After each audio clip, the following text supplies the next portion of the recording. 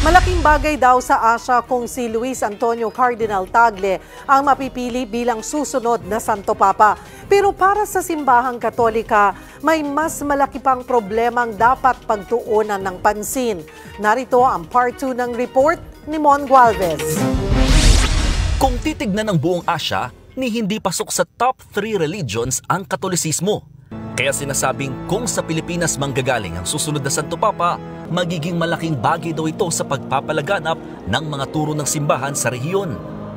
Kung magkaroon ng isang Pope from Asia, talagang makikita mo na buong mundo na represented na. Dahil dati ang uh, papacy, ang Pope, eh usually nanggagaling sa Europe, hindi ba?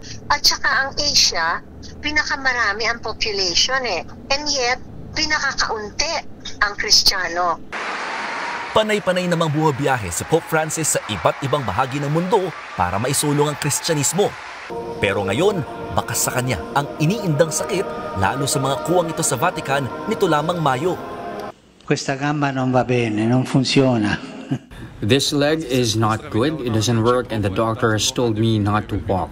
I would like to go and greet the faithful, but this time I have to obey the doctor. Inappoint na mismo ni Pope Francis ang coordinator ng Nurses and Health Facilities ng Vatican na si Maximiliano Strapetti bilang kanyang personal medical assistant. Tinawag noong lifesaver ng Santo Papa si Strapetti dahil siya raw ang nakapagkumbinsi kay Pope Francis na ipa-opera na ang bituka. Pero ang fracture sa tuhod Ayaw na raw talaga niyang ipagalaw dahil ayaw na raw niyang maulit ang napakatagal na side effects na dulot ng anesthesia na nagpalayo raw kay Pope Francis sa kanyang misyon. Una nang sinabi ng Santo Papa na bagamat open door ang pagretiro, sa ngayon pagsubok lamang ito para sa kanya. Ito rin ang pananaw ng Catholic Bishops Conference of the Philippines. More than hoping for that to happen, pagdasal natin siya dahil sabi ko nga mabigat din ano yung kanyang responsibilidad para sa simbahan at para sa mga tao.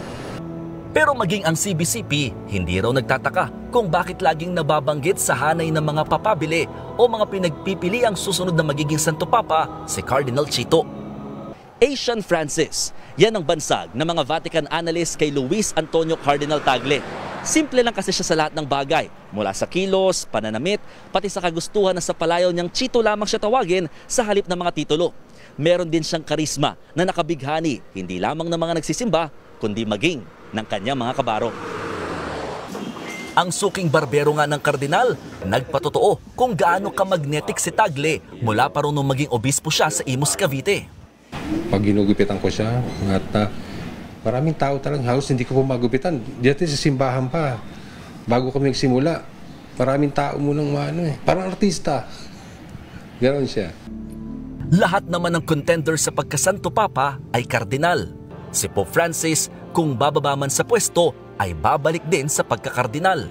Iisa pa rin kasi ang misyon nilang lahat, ang ipamalas ang pagmamahal ni Kristo sa pamamagitan ng pagiging mga ehemplo. Higit sa lahat, para sa simbahan, ito ang mas dapat na ipanalangin. Maraming mga katoliko na umalis na rin. Diba? At uh, meron din namang mga problema pa na katulad ng sexual misconduct, di ba? and then mga abuses na nagawa ng clerics. So, ito yung mga perennial problems. Si Cardinal Tagle ay napakabuting pare, napakabuting obispo. Ngunit gusto nating sabihin dito na ang pagpipili sa Santo Papa ay nakabatay din at naka depende din ano kung sino nga ba talaga ang mapipili din sa pamamagitan ng intervention ng Espiritu Santo. Ako, Simon Gualvez, para sa 1PH.